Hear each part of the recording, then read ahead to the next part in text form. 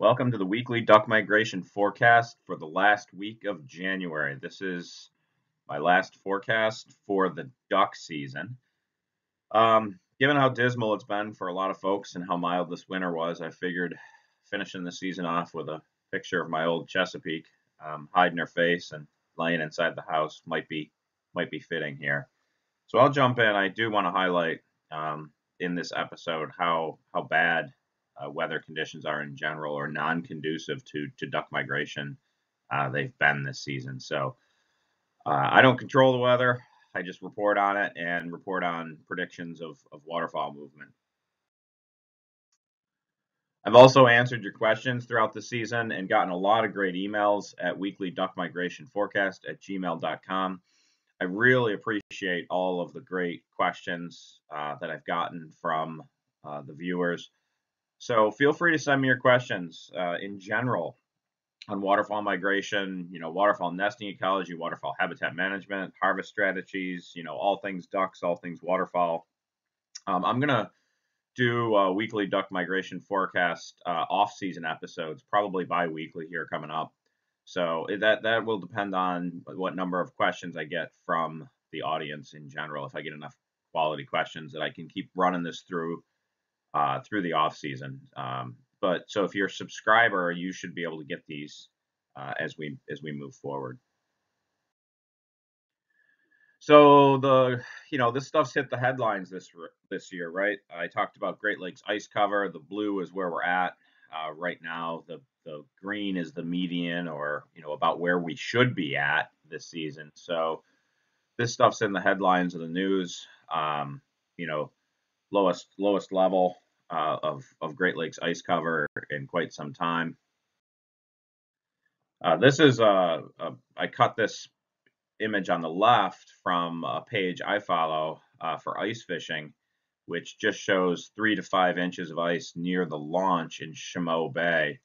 Now, for those of you that aren't familiar, Chaumont Bay is up in northeastern Lake Ontario on the U.S. side. Um, and you can see an image there on the on the right that I pulled from satellite photos. Uh, you know, Chaumont Bay is not even uh, locked up yet. So when you start talking about economic impacts, you know, the rural communities that depend on duck hunters that stay at motels and eat at restaurants and things like that, you know, the, the folks at southern latitudes are hurting because of that. But folks that run, um, you know, snowmobile operations and, and dependent ice fishing and things like winter, winter activities are kind of hurting up north this year too. We're just getting going actually with ice fishing now. And uh, the the Weather Channel reported on this last week, right? U.S. snow cover is is the least expansive in, in 17 years at this point. So there's a huge swath of mid latitudes um, without snow and with relatively mild temperatures. So I don't I don't want this to be depressing to folks. My comment really is if you didn't see ducks this year and you didn't do well, you're not alone.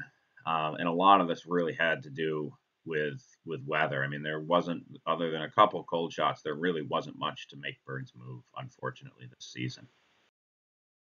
So the summer is really kind of dismal even now, right? Temperatures are going to get near 70 degrees in Memphis and Charlotte, Memphis, Tennessee, and Charlotte, North Carolina on Monday and Tuesday, respectively. You know, 70 in Memphis uh, on Monday today and uh, tomorrow in Charlotte, North Carolina. There's little to no snow uh, predicted for the coming week. Really, the cold center is right where I'm at. Um, it's hard for me to kind of write this forecast up because we did get a foot of snow in Syracuse. Um, I'm, I'm actually I worked through the weekend and I'm I'm taking uh, part of today to go to go ice fishing. It's only the second time I've been out, but we're pretty cold, and so that center of cold is eastern North America and really centered around um, you know central New York region at this at this point. So the greatest WSI values of the season are just are just hitting the Great Lakes region. This is the longest stretch. You'll see it in the tables here in a second. This is the longest stretch where we've had uh, WSI values great enough to pre- to to predict uh, mallard migration out of uh, the the region of like Lake Ontario, which is crazy late. So really, you know, I don't think that there's a lot more bird movement this week. Things are relatively mild. Um, I think, again, I've said this, uh, we get to this point of the season and it's a lot about, you know, how much food you got. Do you have good habitat? Do you have water? Um, and are you managing disturbance to the point that you can can still kill birds? Because um, the other thing that's hurting us is you'll see in the the river gauge maps that dry conditions really continue to persist. So as I said, for for mallard and black duck, um, in the you know heading towards the Mississippi Flyway, if we look towards Ohio and Tennessee, there's not a lot lighting up blue there. Um, pretty pretty warm conditions. Don't expect a lot of action um, in that part of the world. Uh, but here in Syracuse, we're you know our WSI values finally went off the charts, where I'd say that you know our last of our mallards should be getting pushed pushed out. That place I showed you, Chaumont Bay, I've got a friend who works up on the St. Lawrence River and said that the mallards just showed up on the river, which pretty much means they just got frozen out of spots in Canada. They just got frozen out of smaller uh, water and big, big, big, bigger lakes, and now they're on the flowing river. Um, this cold shot should move. If anything, you know, mid latitude folks will get uh, in the Atlantic flyway will get a shot of mallards. Some of these birds do move towards the Mississippi when they leave uh, the east, so there is opportunity for some folks. Um, I'd say like Southern Ohio, uh, Kentucky to possibly kind of pick up some birds um, in the coming week. But other than that, I don't see a lot of action here for, for mallard and black duck movement. Pintails, um, you know, I, I've had Columbus on here for a while. I'd, I'd say they're pretty well froze out of that part of the world, but in the Mississippi Flyway, there's not really a good reason for them to move based on weather. Atlantic Flyway continues to keep showing up spotty blue stuff, so you know there could be some trickle movements of pintails, but my sense is these are probably events that most birds are are kind of sitting out. Um, you know, Charlotte, North Carolina, after being you know in the North Carolinas uh, or North Carolina, sorry, um, after being really really warm early in the week, does cool off midweek. So there's possibility for some small movement, but again, food water disturbance are your keys.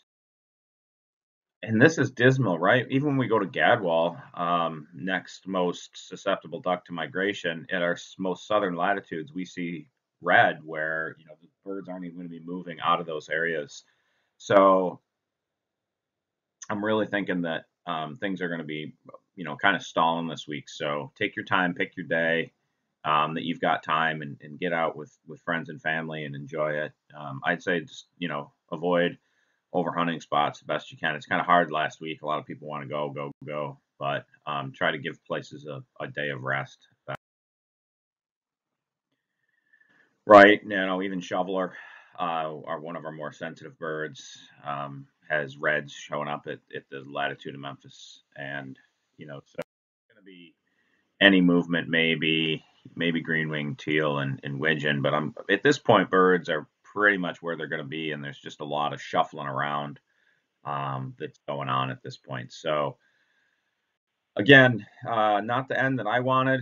Uh, polar vortex disruption didn't really send us what we what we needed, and um, you know it's always there's always there's always next year. So everybody, uh, you know, keep your chins up and hope folks had a good season.